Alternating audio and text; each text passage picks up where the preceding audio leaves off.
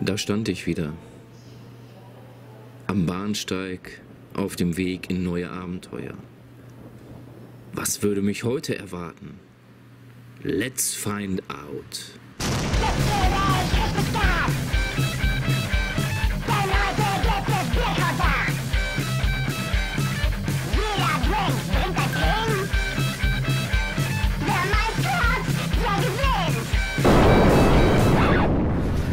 Futzbärchens und Kühen erstmal. Wo geht's heute hin? Heute geht's mal wieder ins gute alte Black End. Und zwar spielen da Wannbagen und Rock'n'Bolle. Schön, Bankrock, Rock'n'Roll. Genau das Richtige.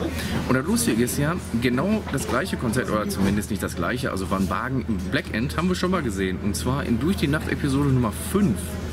Lang, lang ist es her, über zwei Jahre. Da wollen wir mal gucken, wie die sich in zwei Jahren entwickelt haben.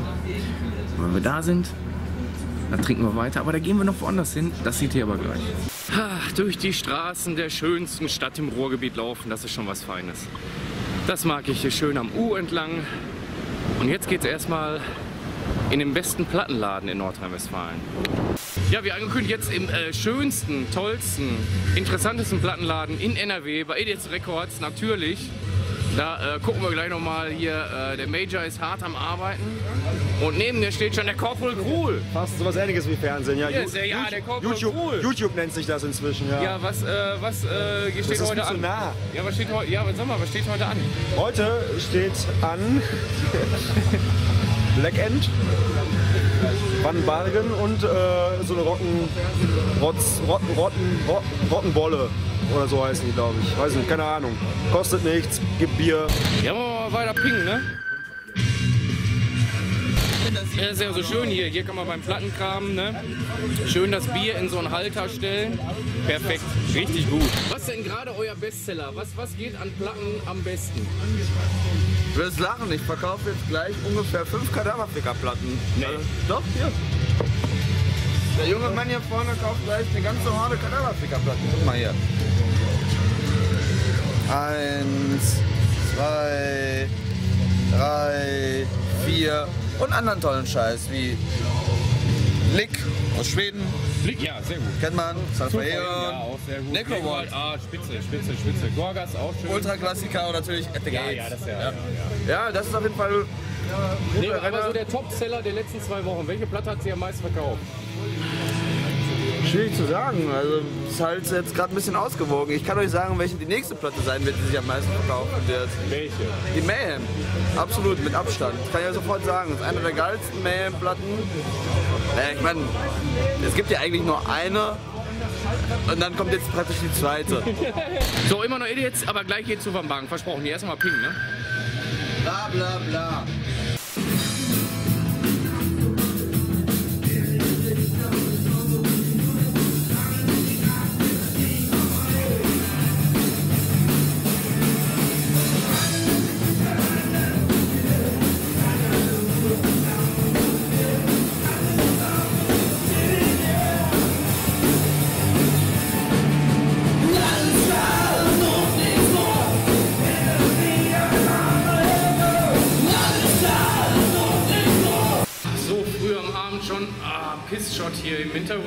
Idiots, ne? Das haben wir leider verpasst, da waren wir gestern, mussten wir auch mal ein bisschen Pause machen. Jetzt spielen gerade Rock'n'Bolle, wie ihr gesehen habt. Und äh, dann kommen Van Bagen. Das wird ah, heute ein Punkrocker Moment. Ah, unglaublich, ich habe hier drei Pings, aber muss schon pissen wie drei Eber. Aber Dortmund hat gewonnen. 3-0 gegen Wolfsburg zu Hause. Super geil. Zweiter Tabellenplatz, drei Punkte hinterm Spitzenreiter. So geht das. Nur der BVB, aber nur der BVB. Ja, auch schön, hab schön, äh, äh, war ich bei Idiots, ne? Das zeige ich euch gleich, was ich da gekauft habe. Aber hier schön Scumfuck Outlaws T-Shirt geschenkt bekommen. Ich bin sehr begeistert. Es ist mir eine Ehre. Scumfuck Outlaws, auch sehr gute Band. So stehen wir hier am äh, Bergmann-Kiosk. Das ist auch äh, eine sehr, sehr bekannte Lokalität in Dortmund, direkt neben dem Black End. Da stehen die Leute mal rum. Heute hat der äh, BVB auch 3-0 gewonnen. Ne? Da trinken die Leute auch gerne noch mal ein mehr mit. Und man muss dazu sagen, äh, Bergmann Bier, das war die erste Brauerei in Dortmund. Also so, ne? Irgendwann, keine Ahnung, um die Jahrhundertwende. Und dann hat sich irgendjemand gedacht, so, ja, geil, die Marke gibt es nicht mehr. Ich kaufe die auf, ich mache das jetzt wieder neu. Und seitdem geht das halt durch die Decke hier in Dortmund. Bergmann Bier. Und jetzt äh, sprechen wir nochmal mit den Ladies vom Bergmann Bier Kiosk, was sich denn hier so gut verkauft. Bergmann Kiosk, das ist ja auch mittlerweile eine Institution in Dortmund. Ja. Neben dem Black End hier direkt äh, nach Dortmund spielen ist hier ein bisschen, ein bisschen mehr los als sonst. Ne? Heute ist schon wenig los. Ja. Und das in einem Herbsttag. Was, was verkauft sich heute am besten? Heute am besten Pilz und Spezial vom Fass. Pilz und Spezial vom Fass. Also gar nicht äh, Flasche, sondern vom Fass. Eher vom Fass, ja. Was ist das Besondere am Bergmann Spezial? Also ich muss mal probieren. Ich würde sagen, die Ausgewogenheit, so unterschwellige Geschmacksspitzen im infraroten Bereich und natürlich äh, der Abgang ist äh, schnell, aber trotzdem äh, mit Nachdruck. Kunden vom Bergmann äh, Kiosk. Äh, Dortmund hat heute 3-0 gewonnen. Zu Hause ist natürlich immer sehr schön. Und äh, danach trinkt man sich äh, Bergmann-Bier. Ja, auf jeden Fall. So, was ist dein äh, bevorzugtes Bergmann-Bier? Das Schwarze natürlich. Das Schwarze. Ja. Warum? Das Schwarze hat halt einen besonderen Geschmack, einen einzigartigen Geschmack und einfach süffig und lecker. King, ne? Es muss ja weitergehen. King. Hier sind wir mit dem Olli. Yay. Hallo. Von Rock, aus Hamburg. Aus Hamburg. Yes. Was verschlägt euch denn nach Dortmund? Also ich meine, nicht, dass Dortmund keine schöne Stadt ist, natürlich die beste Stadt. Aber Also wir haben letztes Jahr schon mal in Essen gespielt, in, einem, ähm, im Südrock, heißt es glaube ich, und äh, wollten unbedingt hier nochmal spielen. Und ja, dann äh, ist uns der Laden empfohlen worden und dann habe ich mit der Mine gesprochen und die so, ja klar, können wir machen. Und dann sind wir gekommen. Na, wir spielen überall, wo, uns man lässt, wo wir uns lässt, in ganz Deutschland, gucken wir rum, um rumzukommen, Leute kennenzulernen und zu spielen natürlich, unsere Musik zu verbreiten. ja, das war ja auch ganz gut. Das ist schön, schön so, so, so, so. Ich würde das als so Assi-Punk-Rock bezeichnen, aber Assi im besten Sinne des. Wortes. Ne? Ähm, wie lange gibt es euch schon? 15 Jahre nächstes Jahr. 15 Jahre? Ja, nächstes Jahr kommt Album Nummer 2 raus und 15-jähriges Bandjubiläum. Zwei, zwei Alben in 15 Jahren, das ist natürlich auch. Ja. Wir haben spät angefangen. Ja. Die ersten sieben Jahre rumgedödelt. So, ja, ähm, ähm, wenn, du, wenn, du jetzt wenn du jetzt mal überlegst, ähm, was war so die, die Band, mit der du angefangen hast, die für dich Ausschlag, den Ausschlag gegeben hat, dass du äh, Musik machen wolltest? Um Gottes Willen. Das ja hier die Gambit hier. Die Rock'n'Roll Queen. Ich kann das äh, so gar nicht sagen. Also ich kann die Geschichte ja mal kurz erzählen. Da war ich irgendwie Anfang 20 und habe in der Dorfdisco als äh, Gläser- und Flaschenboy gearbeitet. Und da hängen immer so ein paar Idioten rum und die haben mich immer so mal, hast du nicht Bock zu singen? Damals habe ich Haare kurz gehabt und äh, es gab Menschen, die meinten, ich würde aussehen wie hier äh, der von Pantera, der Sänger. Aber wegen kurze Haare und ne, Ja, ja. ein, zwei kleine Tattoos und so ein Scheiß. Aber. Und dann haben wir das mal probiert. Das war natürlich mal grottenschlecht, aber so bin ich zur Musik gekommen. Es hat also nicht so mich äh, musikmäßig beeinflusst. Ich habe also, ja klar, warum nicht? War ganz spontan und so hat sich das im Laufe der Jahre fortgeführt. Ne? Ja, und wenn, wenn man jetzt, äh, euch steht ihr jetzt ja in Dortmund hier äh, auch, äh, wie findet ihr Dortmund? Wart ihr schon mal in Dortmund generell? Nein, ich persönlich noch nicht. Und wir sind heute Nachmittag angereist. Nach Unna, da schlafen wir. Ja, hier oh. rüber. Krille, komm mal ins Bild. Das schöne Hier sind, komm mal her, komm mal her. Der Gitarrist, der Krille. Der Gitarrist, ach ja, den haben wir ja auch, ja, hier. Ja, ne? Und Trotzdem kein Wort. Nee, äh, ich, ich hau ab. Ja. Nein, also äh, da haben wir unsere Unterkunft heute und dann sind wir rüber, haben Essen und dann schon Aufbau Soundtrack und los geht's, ne? Ja, genau. Ja, Und jetzt äh, saufen, ne? Wir sind ja schon etwas älter. Wer, wer, wer, ja, wart, wart, wart. Wir sind mit zwei Autos hier und ich bin diesmal nicht der Fahrer. Ja, perfekt. Meistens bin ich ja der Fahrer, aber Ja, diesmal nicht. perfekt, dann, dann, Dann kann ich ein Bierchen mehr trinken, ja. Ja, mach das mal. ja das mache ich auch. Vielen Dank. Ja, ich danke dir. Hier ist die Punkrock-Lady Nummer 1 im Ruhrgebiet. Es gibt keine Frau, die mehr Punkrock ist. Ihr könnt euch anstrengen, wie ihr wollt, aber sie ist mehr Punkrock. Ja, aber es ist so. Okay? Rotes Mä äh, nee, äh, Mädchen mit den roten Haaren, ne? Wie von den Idiots, äh, die Gambit hier. Jetzt, jetzt geht's gleich los. Ja, ich Jetzt geht's, schon. ja, jetzt geht, ja, ja, deswegen ja, muss ich ja. auch aufbauen, aber ich werde hier gerade aufgehalten bei der Arbeit. Oh, na sowas, dann machen wir das gleich nochmal hier schon, Wir ne? müssen uns Ja, gleich ja. wiedersehen. Ja. Freust du dich hin, oder? Äh, ja, immer. Immer, ne? Das ist auch ein äh, Mensch, der äh, in der Durch die Nacht sehr prominent ist, weil er immer dabei ist. Und jetzt haben Rockenwolle gespielt und gleich waren Wagen. Was sagst du? Hast du meine Schokoladenseite erwischt? Ja, natürlich. Dann, Ja, dann, dann, dann ist ja gut. ja. Äh, ja, kann ich noch nicht sagen, weil ich bin gerade eben erst gekommen, deswegen habe ich Rockenwolle verpasst. Aber ich bin sehr gespannt auf äh, Van Wagen, was die gleich so vom Teller reißen. Schon mal gesehen? Nee, deswegen. Ah, okay, ja. Ja, und weil, weil hier im Black End, ne, da fühlt man sich eh mal zu Hause und, und für lau dann ja, ne? Und äh, da kann man das mal machen. Es geht sich um Folgendes, dass es äh, Gerüchte gibt, in 2020 könnten geile Shows stattfinden in Bochum. Wo, im, im? Trompet, Trompete oder vielleicht auch in der Rotunde, wenn gar nichts geht, auch Vageni. Ich habe so geile Titten. So, ja. Ich habe so Oh. geile Titten, weil Bon John und Oh. John Porno wären dabei. Die geile Band von da drinnen, die aus Hamburg angereist ist. Nämlich die Rock'n'Bolles wären auch dabei. Und ich hörte davon, dass so geile Minister und die Kadaverficker die letzte Punkband dieses Planeten wären. Ja, das ist Das wäre ein geiles Trio. Das ist richtig, ja. Wir machen aber auch viel kaputt, ne? Das liegt daran, dass ihr kaputt seid. Bringt doch euer eigenes Equipment mit. Ist auch selten, ne? Zwei Pipi-Shots an einem Abend, aber was Mut, das Mut. Jetzt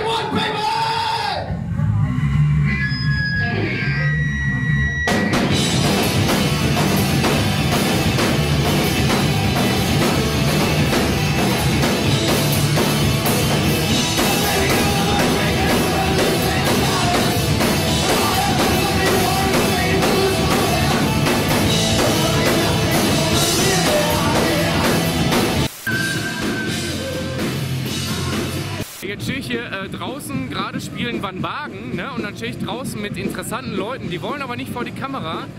Die gucken sich den Scheiß aber an und die freuen sich schon auf den Metal Slam mit Ernie, ne? 28.11. Da wird's nochmal richtig asozial und eklig, weil äh, Ernie verteidigt seinen Titel hier, Metal, äh, Me- Metal Slam, und äh, die Ficker machen Rahmenprogramm. Das wird eine elende Scheiße. Das will keiner sehen, aber trotzdem werden die Leute hier sein. In diesem Sinne. Die Musik ist schon wieder viel zu gut, da vergessen wir mal hier Ping zu machen. Ja, Ping, ne? Ihr Fotzen.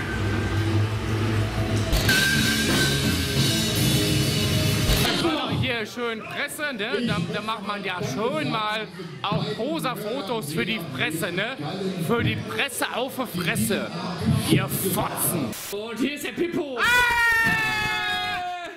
Aber ich war Van nicht Wagen, dabei. da, damals warst du noch bei Disminded, richtig? Ja, Ja. Und jetzt, jetzt bist du bei Van Wagen. ja. Ja, und äh, so, wie, wie, wie ist das von, von Death Metal auf Punkrock umzusteigen? So. Ach so, einfach nur einen Schritt nach links, sag ich mal. Ja. genau. Ein Schritt nach links, obwohl das rechts ist, aber ist egal. Ja, rechts Äh, sagen wir nicht. Ja. Ich wollte einfach auch äh, dich erinnern, dass man du mich interviewt hast äh, mit, äh, we- wegen Kadaverficker. ja, ja, ja, das war damals das meine. Ja, ne, das meine, du hast du mich auch aufgenommen Ja. und dann hast du auf dieser Doku mich Rino. Ja, weiß ich auch nicht warum. Warum. Rino? Habe ich ein Rino-Gesicht? Ja. Ja. Aber jetzt wissen wir ja, das Pippo von, von, von äh, Van Wagen. Am Magen, der neue. Serpentiter auch. Ja. Ja. ja, und jetzt bin ich da. Also, Und jetzt spielt ihr demnächst mit äh, Life of Fucking Ag- Agony. Das ist ja, das ist ja krass. ja, live noch, bevor das die Sterne. Ja, wir- nee, Life of Agony, ja, ja. Ja, nicht Dead of Them. Oh, ist Clarissa. und da ist sie. Da ist sie. Gambit Rock. Gambit. Nee, macht das, macht das weg. Ja, hier. Oh, guck mal, Oh. was treiben die da? Schau mal. Oh, was Da. ist da los? Na, was ist da los? Ich komme auch mit. Ja, komm rein! Was macht ihr da? Komm mitmachen. Wir haben Geheimnisse, wir lästern. Und äh, deine Gitarre tut mir auch immer sehr leid. Die braucht das ja, ne? Sonst Die braucht das? Die, So weint richtig- sonst, die weint sonst abends im Bett. So, so richtig rein, reingefickt werden. Ja. Genau, die braucht das. Sonst sitzt, liegt die abends im Bett und dann heult die. Und jetzt äh, spielt ihr ja mit Life of Agony. Ja! Und, Und Doll. mit Doll. Und Doll. Ich Doll. Wünsche von Doll. Ja, Doll. Ja. Du, ja. Ja. Ja. Ja. Ja. Ist das, ist, das so, ist das auch so ein Live-Goal irgendwie, mal mit äh, äh, solchen Leuten zu spielen? Weil das ein Live-Goal? Ja, so ein Lebensziel. Ach so. Ja. Was ist los? Die machen das Schweinereien. Ja. Ja, natürlich ist das geil, ne? Ich meine, ich bin so ein Kind der 80er, 90er, ne? Und wenn du dann so hörst mit Life of Agony und Misfits, Doyle, das ist natürlich so, ne? Das ist schon ziemlich geil, muss ich sagen. Schon- das freue ich mich cool, schon ja. drauf, ne? Gibt es noch irgendwas so, so Nord- oder Turok Open Air, wo ihr äh, gerne. Äh, ja klar, ne? Wir nehmen, was so kommt, ne? Und wo wir dann so machen wollen. Und das ist ja auch total lustig. Äh, ich meine, jetzt spielt ihr im Black End, das ist ja eher so eine kleine Show.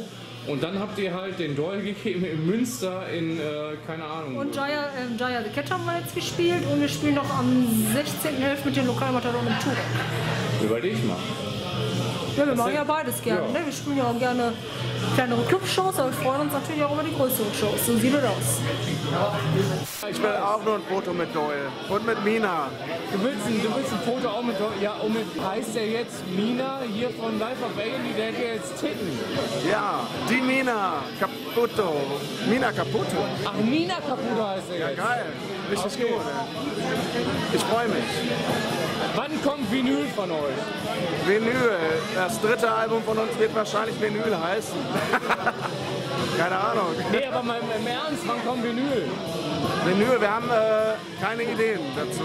Weiß ich nicht. Also, wenn, wenn Labels jetzt zugucken, Wir die Jungs Vinyl. und das Mädel, die wollen Vinyl, ja. Wir brauchen dringend Vinyl. Es hilft ja nichts, es muss ja weitergehen, ihr Fotzen. Ping. Deswegen liebe ich den Pott ja, weil man geht hier irgendwie 200, 300 Meter und dann ist da eine Kiosk, Trinkhalle und dann kann man sich äh, neue Kaugummis kaufen oder auch mal ein Bierchen oder auch äh, neue Kippen. Das ist einfach äh, super schön. Van Baden, das ist ja eigentlich gar nicht deine Musik, aber fandst du trotzdem gut oder was? Ich hab sie doch gar nicht gesehen. Du hast sie ja gesehen. Wenn du dir eine Band aussuchen würdest, die im Black End spielt, welche wäre das? Sanctimonium. So, jetzt machen wir mal wieder äh, durch die Nacht, wie es damals eigentlich gedacht. So, jetzt machen wir mal wieder durch die Nacht, wie es damals eigentlich gedacht war, als ich dieses Format angefangen habe. Hier, die, jetzt geht die Scheiße mal aus hier. Motherfuck. Jetzt machen wir mal durch die Nacht, wie es damals gedacht war, als ich diesen ähm, Kanal angefangen habe oder generell. Jetzt geht die Scheiße hier. Wie macht das an? Ne? Wie das halt gedacht war, als ich angefangen habe, das zu machen. Wir besuchen äh, verschiedene Locations. Jetzt waren wir bei Van Bagen und. Oh. Jetzt waren wir bei Van Bagen und äh, Rockenbolle. Und jetzt geht's noch weiter. Irgendwo, keine Ahnung. Dahin führt mich der äh, Corporal hin. Und ich weiß nicht, was heute Abend noch passieren wird. Erstmal pingen, ne? Der, der scheiß Corporal hat mich hier hingeschleppt. Es ist eine Schei Was für eine Fuckparty. Hier pingen nochmal. Corporal. Ja. Warum sind wir hier? Ja, um geil Party zu machen. Ja, was hier geil? Ich höre nur. Utz, utz, utz, utz. Ja, du stehst doch auf Elektro. ja, aber nicht auf asozialen Elektro. Ja, abwarten. Mal gucken. Hm, okay. Ja, wir müssen mal äh, Ping machen, ne? Jetzt stehen wir hier in so einer komischen äh, Cafete Party, irgendwas. Keine Ahnung. Keine Ahnung, was mit euch kaputt ist. Keine Ahnung, was mit euch kaputt ist. Wir müssen, wir, wir müssen, äh, äh, wir müssen einfach mehr sau. Wir müssen aufhören, weniger zu trinken. Ich bin der geilste Typ der Welt und studiere Mathe. Ja, es äh, tut mir ja leid. Ähm, das war ja mal, das war ja mal richtig schlimm, ne? Das war ja mal richtig asozial, aber nicht asozial im guten Sinne, sondern asozial im schlechten Sinne. Ähm, und dann hat mich äh, meine Frau und ihre Freundin da rausgeholt.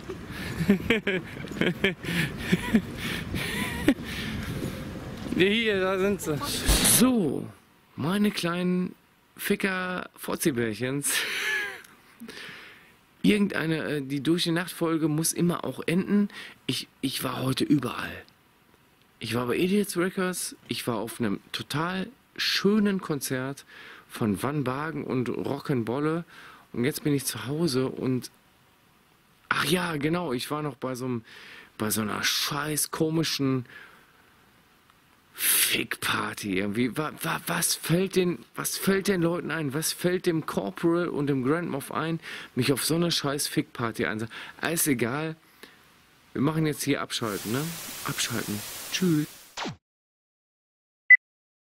Ja, nee, halt, stopp. Hab ich ja jetzt vergessen, ne? Die Platten noch mal eben kurz zu präsentieren, die ich bei Idiots geshoppt habe, ne? Bester Plattenladen hier, einmal die neue Insomnium. Das musste halt sein. Auch hier geil. Schönes magenta-rotes Clear-Vinyl. Sehr, sehr, sehr, sehr feine Platte, so wenn man auf so atmosphärischen Death Metal steht, mit Melodie und so, ist super geil. Und als zweites Mani. Kennt vielleicht auch der eine oder andere nicht. Wenn ihr es nicht kennt, guter Tipp hier auch schön aufgemacht. Hier so Clear Vinyl hole ich jetzt aber nicht raus, mir auch egal. Das ist so, so Richtung Bursum. Wenn ihr Bursum mögt, ne, dann werdet ihr da auch richtig voll bedient. So, das wollte ich ja auch nochmal sagen. Ne? Hier schön nach dem Abspann, hier Marvel-Style. und jetzt machen wir Tschüss. Ne? Tschüss, tschüss.